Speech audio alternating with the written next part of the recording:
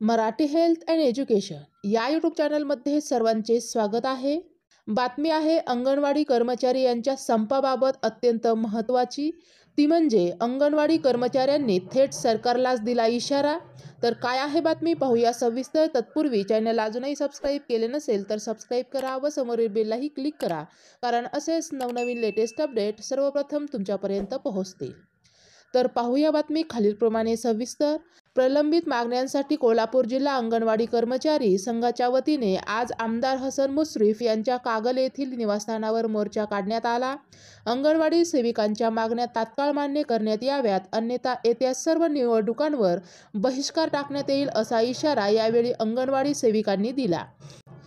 अंगणवाडी सेविकांना चांगले मोबाईल द्यावे पोषण ट्रॅकर ॲप मराठीमध्ये द्यावे. अंगणवाडी सेविका मदतनीस यांना सुप्रीम कोर्टाच्या निर्णयाप्रमाणे ग्रॅज्युएटी द्यावी.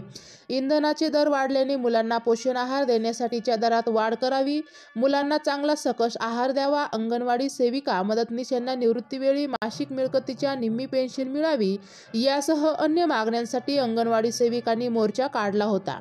अंगणवाडी सेविकांनी मागण्यांसाठी अनेक वेळा मोर्चा आंदोलने केली आहे. सरकार मात्र याकडे दुर्लक्ष करत आहे. त्यामुळे या मागण्या तात्काळ मान्य कराव्यात अन्यथा येणाऱ्या सर्व निवडणुकांवर बहिष्कार घातला जाईल असा इशारा त्यांनी दिला आहे.